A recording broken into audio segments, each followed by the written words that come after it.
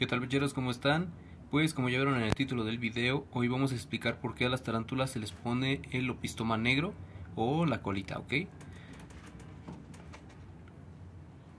El ejemplar que tenemos aquí es una Brachyphelmas midi que como pueden ver todo esto ya está, está calvo y está de color negro.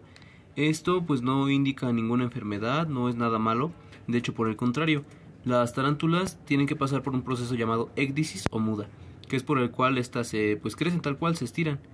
Eh, lo que tenemos que hacer en estos casos solamente es subir la humedad y dejar de alimentar, ya que si nosotros ponemos comida y la tarántula empieza a mudar, por decir la cucaracha o el grillo, la pueden morder, la pueden masticar y puede llegar a morir.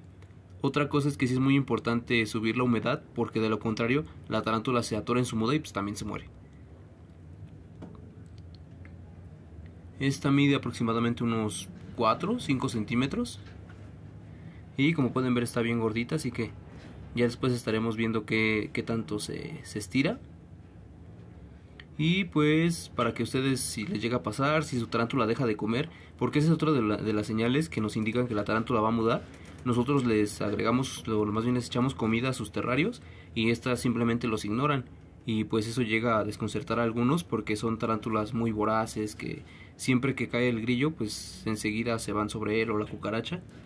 Pues para que no se asusten, esto es completamente normal y solamente cuiden eso, los parámetros, temperatura, humedad y verán cómo su bicho se va a estirar.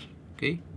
No olviden suscribirse si les gusta este video, dejar un like y díganme en sus comentarios si ustedes han tenido experiencias malas con la muda, que cuánto ha sido lo más que ha crecido su tarántula o ya saben, cualquier cosa que ustedes quieran compartir. Nos vemos en un próximo video. Bye.